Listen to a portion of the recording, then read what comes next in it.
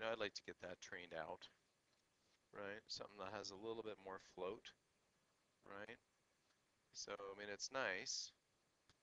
I think you're moving quite well. Face is pretty managed. Pelvis turning pretty well.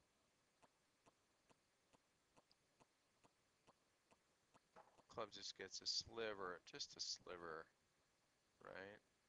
And then you're then you fit it in a little with a tiny, tiny, tiny handle raise. But I bet you played some pretty good golf because that looks like it's decent. You know, you said 39.45 or whatever it is. Um, I know I'm always kind of battling with where this left wrist is on on the club. I like it just a just a bit more bend back, and if and that wrist joint a hair more right on top of the grip. So if I run this, you know, straight up the shaft, right, that could just be a fraction more on top compared to where it is now. Face on relationship, you know, a lot of good stuff there.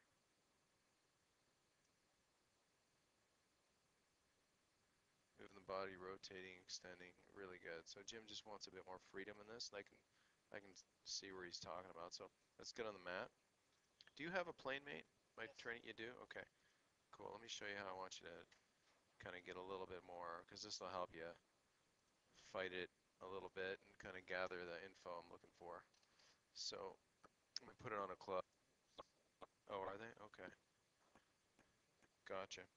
So let's put the club head imaginary ball right there. Good. So there's some tension in the band, right?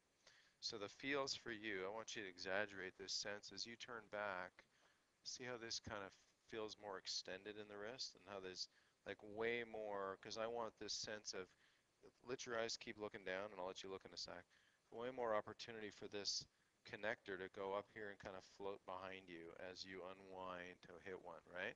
So the connector feels like it's way outside the hands, way more up, way more float, and then some rotation.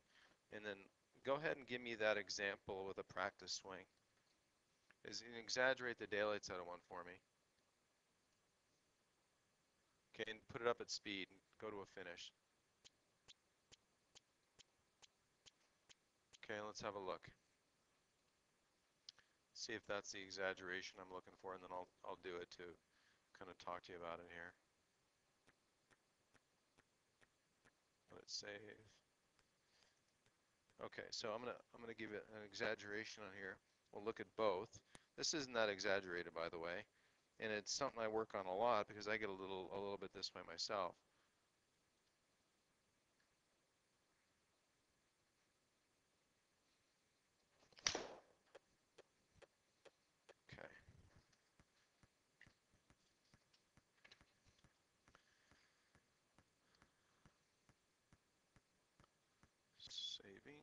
Okay, groovy. So let's put U versus U. PlaneMate on, right? So we're going to go to P2 and stop, arguably. We'll go to P2 and stop. Okay. So that's certainly certainly different. Now what I want to see is the hands just a hint more in when we do that. See what I mean? Left hand more in, club more out. But that's, you know, certainly way more vertical here at P3, isn't it?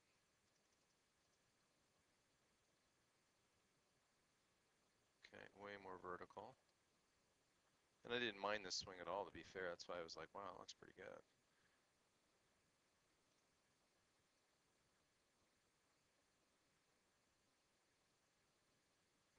Can see this, how much different this is at P5, P5 to P5, the pitch of the shaft, right?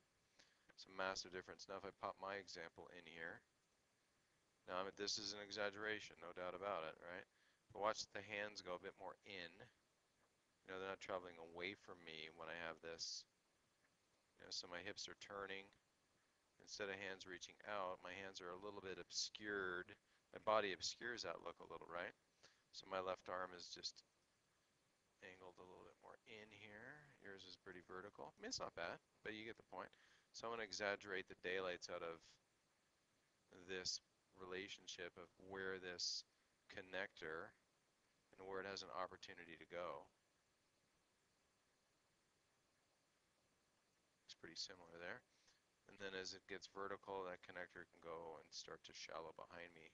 In this rhythm of unwinding, this is kind of how a baseball player. So imagine if I was kind of looking at a pitcher right now, and I like the pitch, that the bat would shallow as I unwound, right? But in golf, it's, you know, it's going to look a little different, right? So this is a way, that, that thing right there, now as you unwind that, this is, you know, watching that face behave pretty well, overtake. Now it got a little crisscrossy, right? The band got crisscrossy. Now watch where I go. Like it doesn't really crisscross because I'm still rotating. Make sense? Okay, show me.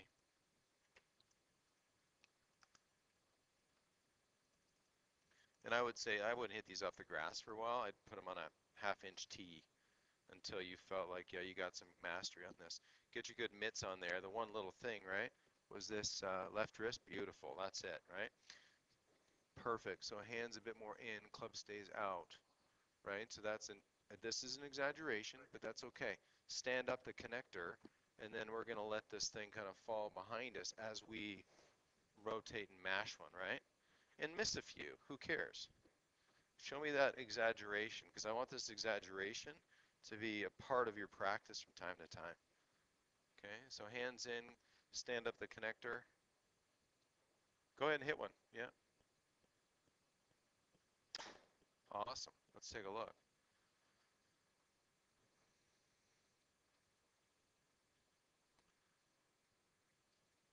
So now, like you've been to, this is your third event with us, right? And it's your third, yeah, I think third. So now that it's easy to coach you, frankly, because I can say do this, you do this. It's awesome. You know, can, so there's hands in, gorgeous, right? Perfect. Okay. There's standing up the connector. There's shallowing. Like that's that's money. Okay, hands in. Now from here you can't really. A more vertical shaft that's shallowing, and then you've got to un unwind that. There's a bit of shaft lean, and there's some continuation of pivot. This is a damn good golf swing. Okay, so you kind of see the little freedom we want. And so that little, you know, moving the connector about, I'll just take it here to here. Oops. Right, so this, this awareness of this, you know, where that connection goes, like it's out, hands in, outside, vertical. And then this is like me waiting for a pitch that I like, right? The bat shallows as I, yeah, too many golfers have a little bit. So you had just a dangerous amount of this, and Jim said you were getting too, a little too much out out there. In here I saw a little bit, right? I want to exaggerate, hands in, get the connector up. Let it unwind. Look, enjoy the pitch and turn on that pitch. Sound good? Awesome. You want just use that uh, PlaneMate? Or do you have one with you? Okay.